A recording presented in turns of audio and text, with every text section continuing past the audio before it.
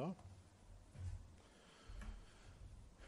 Değerli basın mensupları, hafta sonu hepimizin yüreği dağlandı. Türkiye Kömür İşletmelerine ait Amasra'daki bir kömür madenindeki patlama ülkemizi derinden sarstı. 41 maden emekçimiz yaşamını kaybetti. 11 maden emekçimiz de yaralandı. Yaralılarımızın bir kısmının durumu ağır. Cumhuriyet Halk Partisi olarak vazife başında hayatını kaybeden şehitlerimize bir kez daha Allah'tan rahmet, kederli ailelerine sabır, tüm milletimize başsağlığı diliyoruz. Yaralılarımıza ise tezelden şifa dileklerimizi iletiyoruz. Bu acılardan milletçe bunaldık. Bu kaçıncı madenci kazası? Bu kaçıncı yaz? 2003'te Ermenek, 2004'te Kastamonu Küre, 2009'da Bursa Mustafa Kemal Paşa, 2010'da Balıkesir Dursun Bey ve Zonguldak Karadon, 2013'te Zonguldak Kozlu, 2014'te 301 emekçimizi yitirdiğimiz Soma faciası, 2014'te bir kere daha Ermenek, 2016'da Siirt Şirvan. Bunlar toplumda travma yaratan büyük facialar. Bir de gazetelerin üçüncü sayfalarında kıyıda köşede gizlenen Elbistan'da madende bir işçi öldü. Gemerek'te göçük sonucu bir işçi hayatını kaybetti haberleri var. Çoğu kişinin görmediği, duymadığı iş cinayetlerde onlarca ocağa ateşler düştü. 2003'ten bu yana 2000'i maden emekçisi olmak üzere 30 bin işçimizi iş kazası denen iş cinayetlerinde yitirdik. Bunlar sıradan sayılar değil. Bu sayılarda yüz karası değil, kömür karası, böyle kazanılır ekmek parası diyen babalar var. Güneşi görebilmek için karanlığı kazan gencecik evlatlarımız var. Fransız yazar Albert Camus, bir ülkeyi tanımak istiyorsanız insanların nasıl öldüğüne bakın demiş.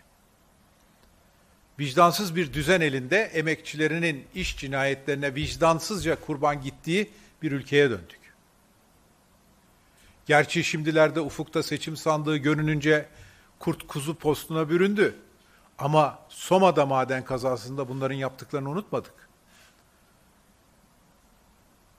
Soma'da 301 canımızın kaybet 301 canımızı yitirdiğimiz maden faciasında dönemin başbakanı Erdoğan kendisini protesto edenleri başbakana yuh çekersen tokadı yersin diyerek tehdit etmişti. Sonra bir markete girip korumalarıyla beraber genç bir çocuğu dövdü. Delikanlıyı döverken de ne kaçıyorsun ulan İsrail ölü, dölü diye bağırması da cabası. Tabi ön teker nereye, arka teker de oraya. Erdoğan bunları yaparsa şürekası neler yapmaz.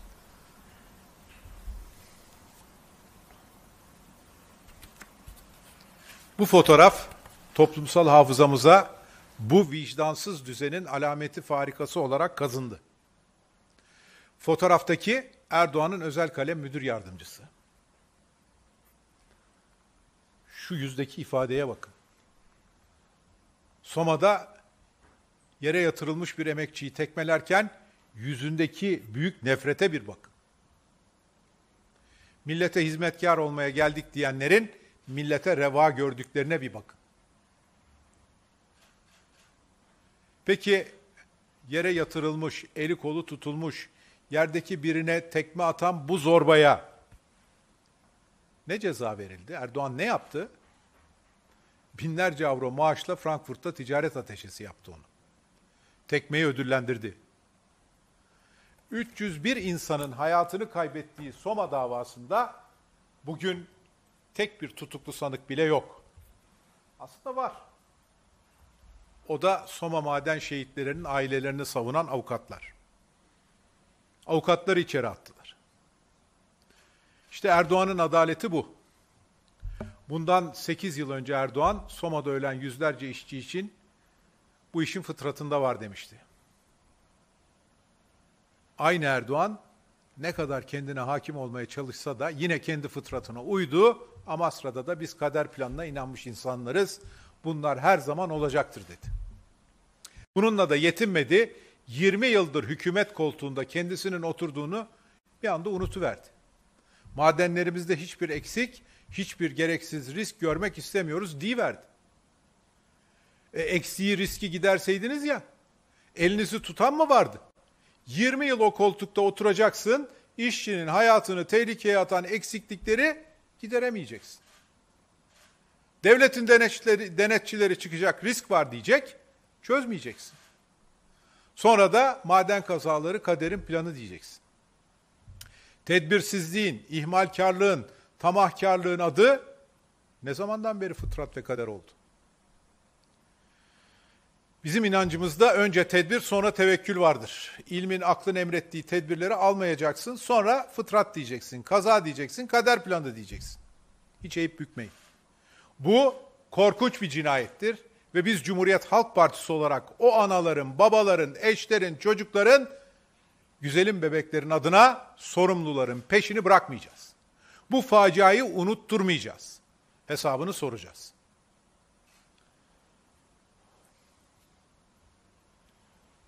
Bu Uluslararası Çalışma Örgütü'nün verileri. Ülkeyi uçuracak diye pazarladıkları ucube saray rejiminde madenlerde hayattan uçup giden canlar. Sadece son 3 yılda 2019-2021 döneminde madenlerde yaşamını yitiren emekçilerimizin sayısı 189. Bununla, bu kayıplarla Türkiye açık ara dünya birincisi. Bu acı tablonun sahibi hala hiç sıkılmadan hamdolsun diyerek Amasra'da 41 cansız bedene 24 saatten az sürede ulaşmakla övünüyor. Utancı gidenin kalbi de ölür derler. Bunların kalbi de millete karşı artık ölmüş. Bunların millete karşı kalbi körelmese devlet kurumlarının tespit ettiği eksikleri giderir, bu madenleri güvenli hale getirirlerdi. İşte Sayıştay raporu ortada. Patlamanın yaşandığı müessese için hazırlanan 2019 denetim raporunda bugün olanlar için açıkça uyarılarda bulunulmuş. Raporun alına 16. sayfasında bu müessesede üretimi olumsuz etkileyen başlıca etkenler tek tek sayılmış. Metan gazı ve karbondioksit gazındaki yükselmeler bunlardan biri. Sayfa 21'de iş kazalarındaki artışa vurgu yapılıyor. 2019'da müessesede önceki yıla göre %70 artışla 190 iş kazası olmuş. Bunun 72'si göçükler nedeniyle yaşanmış diyor rapor. Sayfa 63'te solunabilir ve patlayabilir tozla mücadele kapsamında alınan önleme, önlemlerde aksamalar var deniyor. Tane boyutu küçük tozların sürekli ortamda dolaşması infilak riskini arttırıyor tespiti yapılıyor. Ve sayfa 65. Şimdi ilgili bölümü olduğu gibi okuyorum. 2019 yılında müessesenin dengelenmiş üretim derinliği eksi 300 metre olmuştur.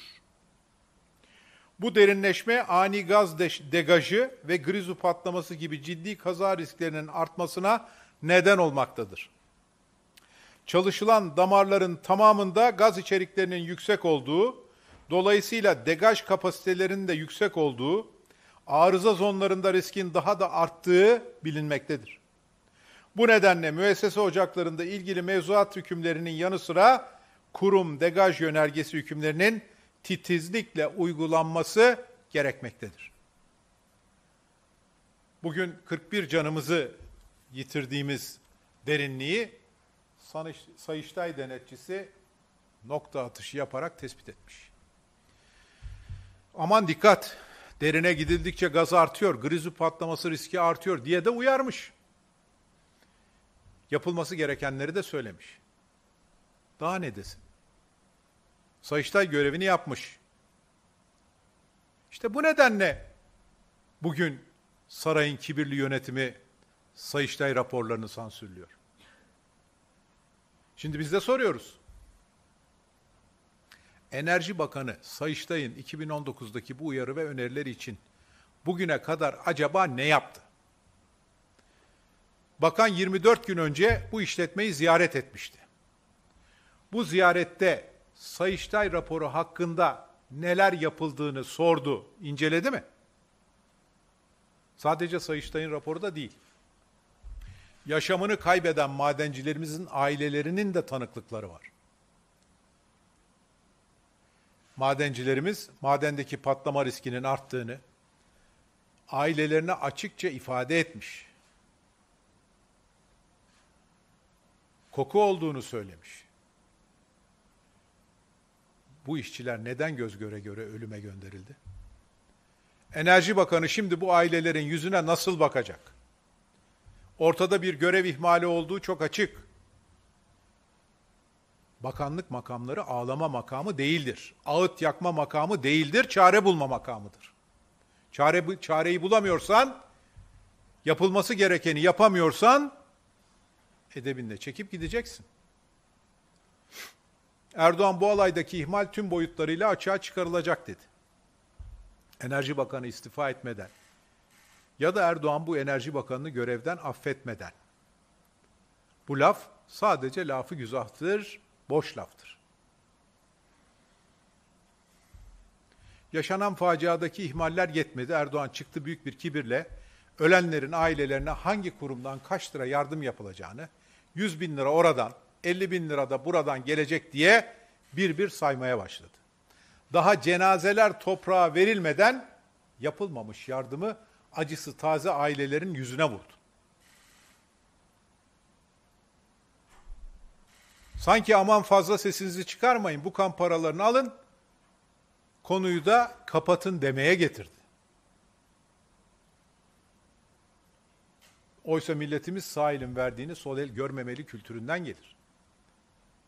Bu kültürden gelen milletimizi bu kibir derinden yaralamıştır. Sarayın kibirlisinin kibirlisi için insanın canının ne değerinin ne olduğu da ortaya çıkmıştır. Yüz oradan, elli buradan. Sonra Allah rahmet eylesin. Ama ayıplar silsilesi burada da bitmedi.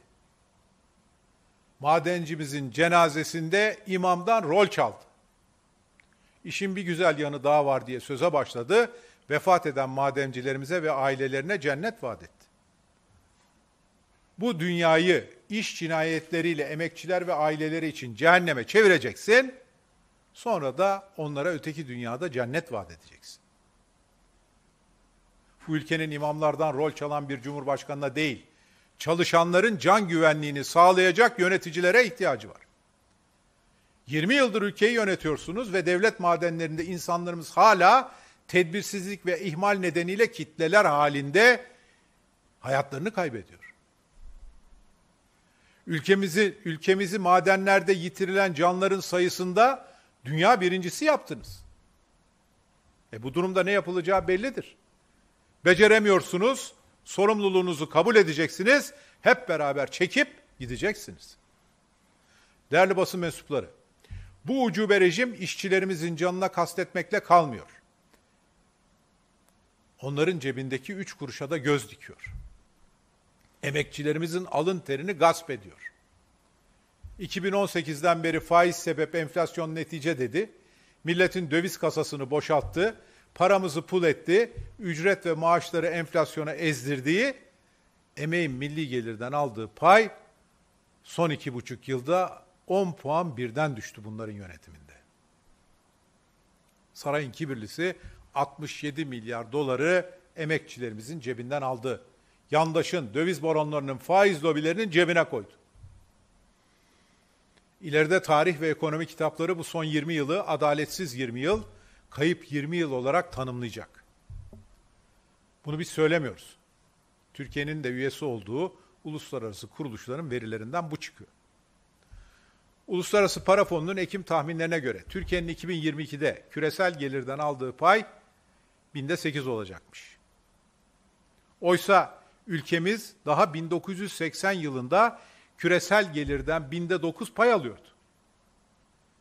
Yani bu hükümetin yönetiminde az gitmişiz, uz gitmişiz, dere tepe düz gitmişiz. Bir de bakmışız ki 20 yılın sonunda 1980'in bile gerisine gitmişiz.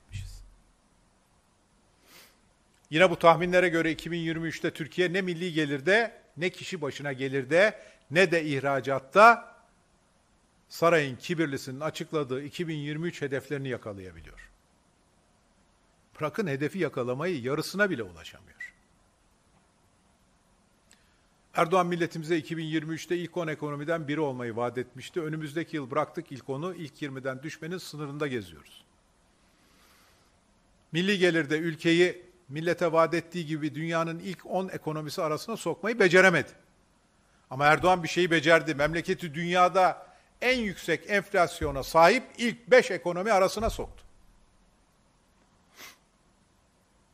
Ülkemize sığınan Suriyeliler bile artık pahalılığa dayanamayıp ülkelerine döner oldu. Türkiye'yi pahalılıkta iç savaşta yıkılan Suriye'den, işgal altındaki Ukrayna'dan, yaptırımlarla boğuşan işgalci Rusya'dan beter etti. Seçim satım haline girdik. Şimdi ülkeyi 20 yıldır yönetenler çıkmışlar, yolsuzluğun, rüşvetin ve yoksulluğun olmadığı bir dönemin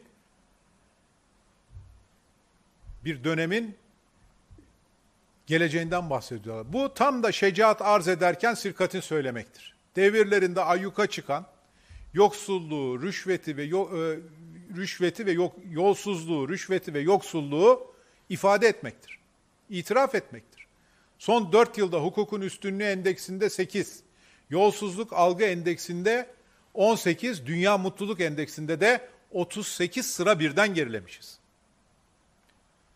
Bu verilerin bize söylediği şudur. Tek kişilik ucube yönetim taşları bağlamış, köpekleri ise etrafa salmış.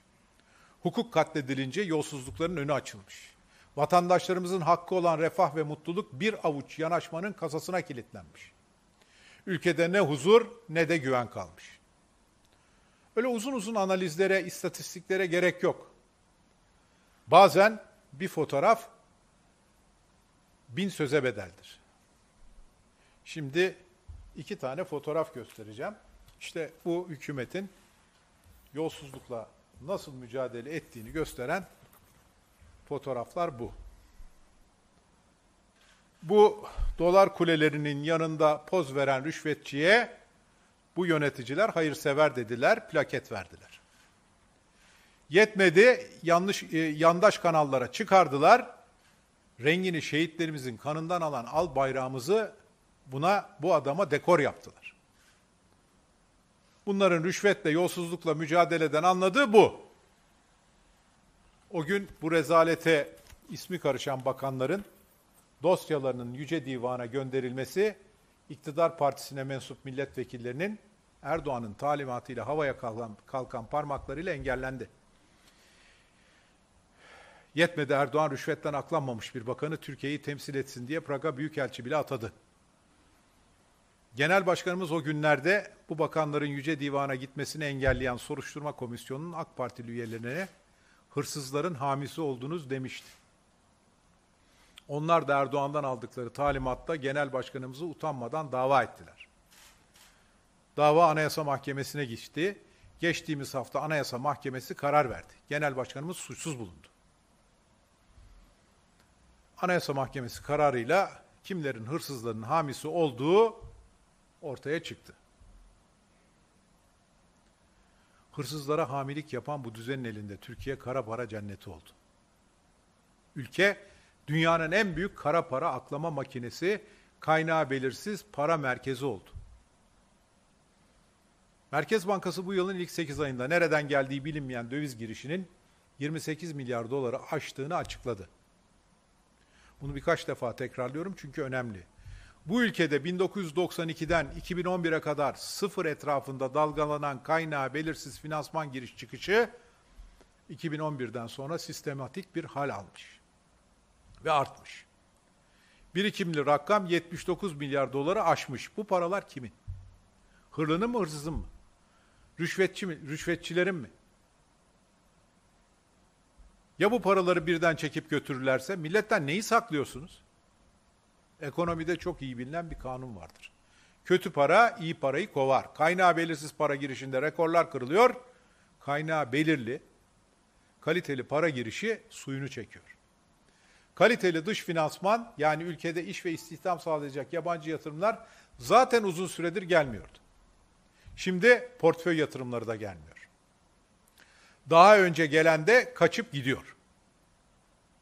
Son 5 haftada yabancı yatırımcılar 825 milyon dolar tutarında devlet iç borçlanma senedi ve hisse senedini satıp çıkmışlar.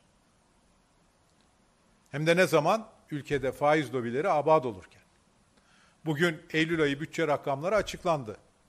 Yılın ilk 9 ayında bütçeden yapılan faiz ödemesi tam 207 milyar Türk lirası olmuş. Bir de kur korumalı mevduat diyerek dövize endeksledikleri mevduatlar için ödenen paralar var. Aslında bu adına faiz denmeyen faiz. Bunun tutarı da 85 milyar lira olmuş. Bir de dolarla avrolu garantilerle milletin kesesinden yandaşların kasasına aktarılanlar var. Milletin geçmediği köprü, uçmadığı havaalanı, geçmediği tünel karayolu için. Bu yılın ilk 9 ayında bir kuruş harcamadan yaptık dedikleri ballı ihaleler için ödenen garanti parası 19 milyar lira. Sadece 9 ayda bu saydığım 3 kalemden milletimize çıkan fatura 311 milyar lira. Buna karşın aynı dönemde çiftçiye verilen destek 30 milyar lira. Halkbank'tan esnafa verilen destek 7 milyar lira. Hükümetin hatalarıyla ezdiği milletimize verilen sosyal destekler ise 31 milyar lira. Hepsini toplayın 70 milyar lira bile etmez. Faiz lobilerine, döviz baronlarına ve yandaş müteahhitlere aktarılan paranın dörtte bire bile değil. Hep söylüyoruz. Bütçe bir hükümetin tercihlerini gösterir. Bunların tercihlerinde esnaf yok. Bunların tercihlerinde çiftçi yok. Bunların tercihlerinde millet yok. Varsa yoksa faiz lobileri, rantiyeler, yandaş beslemeler. Değerli basın mensupları,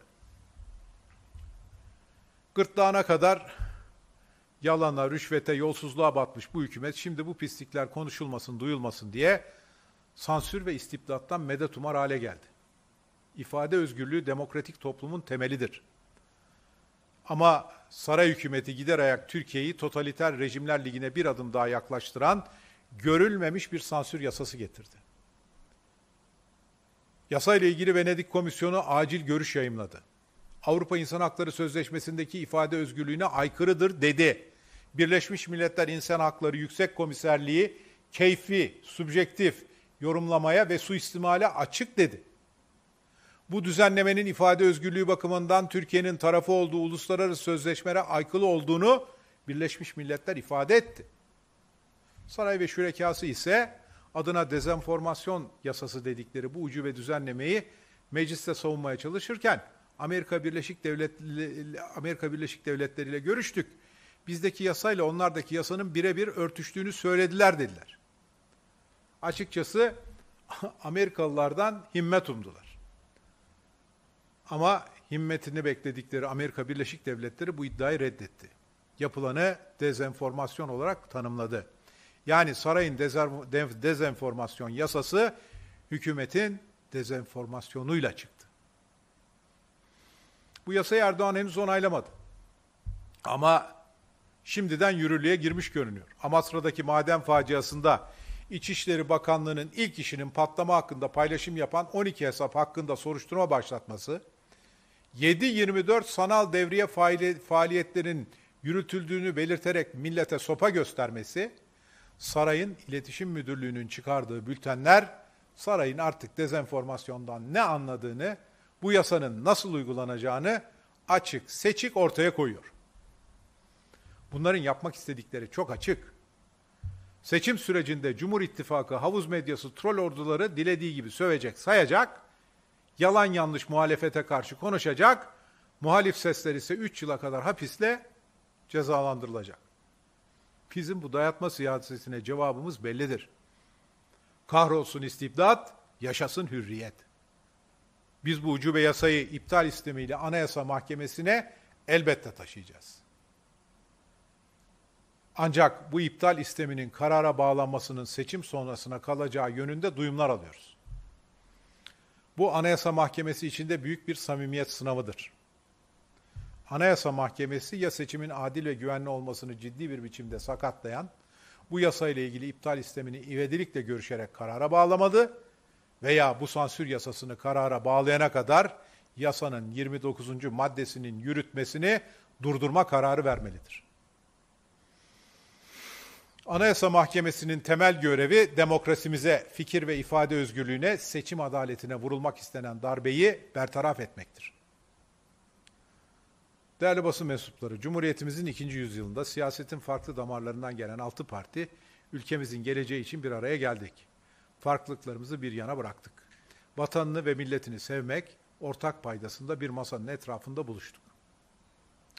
Sayın Genel Başkanımız iktidar yürüyüşümüzün başladığı bu dönemde dünyada bilimi, teknoloji ve hayatın ne yöne evrildiğini görmek, olası küresel, küresel risk ve fırsatları yerinde tespit etmek için bir dizi dış temasa başladı. Bu çerçevede politikalarımızın dayanağı olan bilim, araştırma, teknoloji ve evrensel değerler konusunda görüş alışverişinde bulunmak için ilk ziyaretini de Amerika Birleşik Devletleri'ne gerçekleştirdi.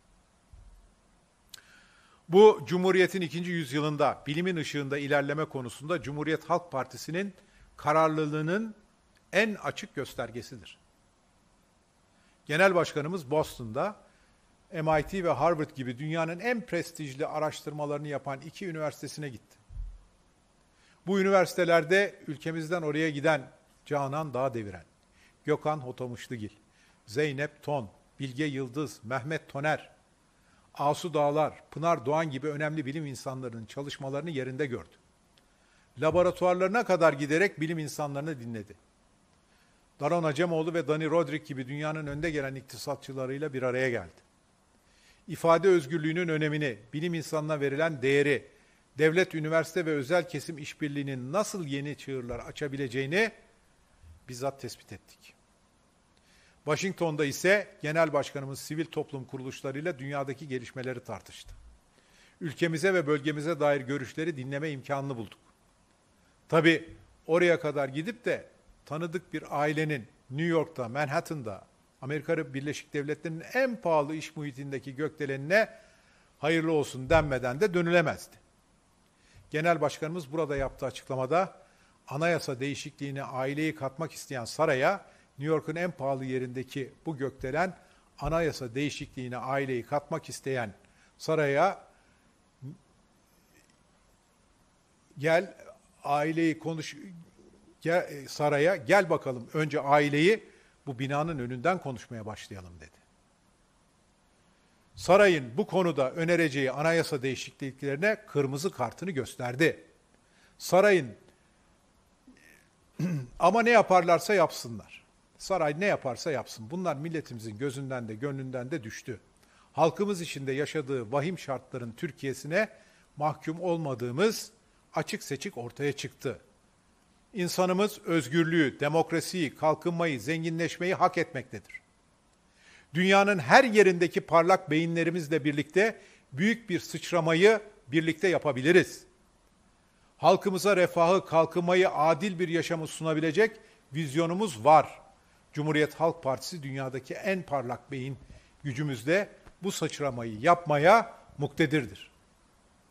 Aziz milletimiz, şartlar ne kadar zor olursa olsun umutsuzluğa yer yok yer yoktur. Karanlıktan aydınlığa hep beraber çıkacak. Biz bu ziyaretimizde Cumhuriyet Halk Partisi yönetiminde çağdaş medeniyetler seviyesini aşabileceğimizi bir kere daha gördük. Bu vicdansız, bu insafsız, dediğim dedik saray düzenini değiştirmek için milletimizi insanca bir yaşama ve hak ettiği refaha kavuşturmak için biz hazırız, milletimiz hazır. Benim söyleyeceklerim bu kadar. Şimdi sorularınız varsa alabilirim. Efendim müsaadenizle bize yönlendirilen sorular oldu. Şimdi onları aktaracağım. İlk olarak ATV'den yönlendirilen bir soru var. ATV'nin sorusu şöyle. Ee, CHP Genel Başkanı Kemal Kılıçdaroğlu'nun ABD ziyareti sırasında 8 saatlik dilimde ne yaptığı, nereye gittiği konuşuluyor. Kendisi hamburger yemeye gittim demişti. Nedir o 8 saatin sırrı, kimlerle görüşüldü? Genel Başkanımızın böyle bir laf söylediğini nereden duymuşlar? Genel Başkanımızın böyle bir ifadesi yok.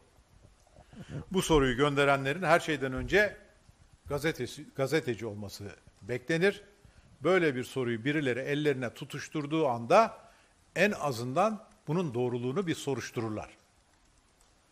Ama bu yapılan gazetecilik değildir, ayıptır. Yalan haber şampiyonu oldular. Efendim Rudav tarafından yönlendirilen bir soru var. O soru da şöyle. Ankara Büyükşehir Belediyesi Belediye Meclisi Ankara'da su fiyatlarının %50 oranında indirim yapılmasına karar verdi. Fakat Büyükşehir Belediyesi bu kararla askiyi ciddi şekilde zarara uğrayacağını, zira suyun metreküp maliyetinin 24 lira civarında olduğunu açıkladı. Sizin bu konuya ilişkin bir değerlendirmeniz olacak mı? AK Partili belediye meclis üyelerinin suya indirim talebi iyi niyetli değil, art niyetlidir. Bir kere yaptıkları her şeyden önce suçtur. Bunu ben söylemiyorum. 4736 sayılı kanunun birinci maddesi bunu açıkça ortaya koyuyor. Ankara Büyükşehir Belediye Meclisi'nde Cumhur İttifakı'na mensup üyelerin gözleri o kadar dönmüştür ki suç işlediklerinin farkında bile değildirler.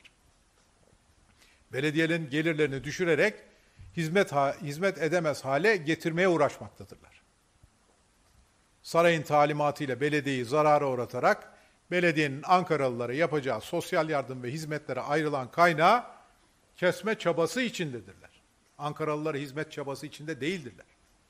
Ne yaparlarsa yapsınlar. Belediyelerimiz tüm gücüyle çalışmaya, hemşerilerine hizmet etmeye devam edecektir.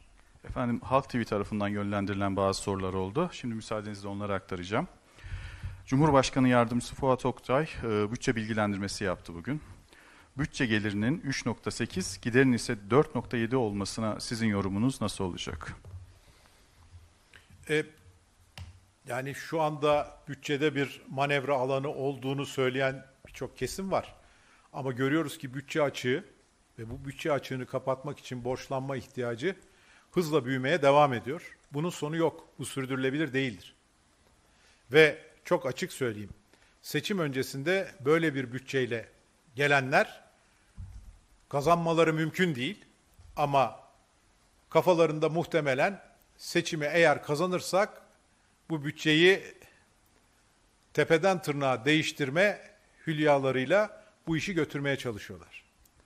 Kimse ben çok açık söyleyeyim e, kimse kendini arpa ambarında sanmaz. Bu milletin artık bunlara verecekleri hiçbir oy yoktur.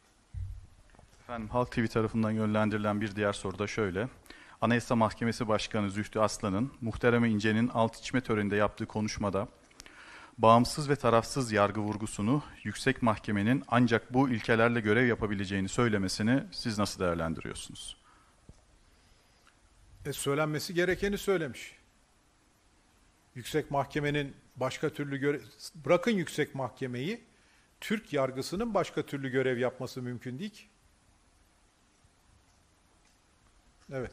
Efendim son olarak yine Halk TV'nin bir sorusu var. O soru da şöyle. Bugün İletişim Başkanlığı Anayasa Mahkemesi için basın mensuplarının bazılarını davet listesinden çıkardı. Sosyal medya yasası olarak bilinen yasanın mecliste kabul edilmesinin hemen ardından yapılan bu ambargoyu siz nasıl değerlendiriyorsunuz? E, şu anda bu yasaya karşı duranların e, daha önce bu yasa sürecinde de bir şekilde e, sesini kesmeye çalışıyorlardı.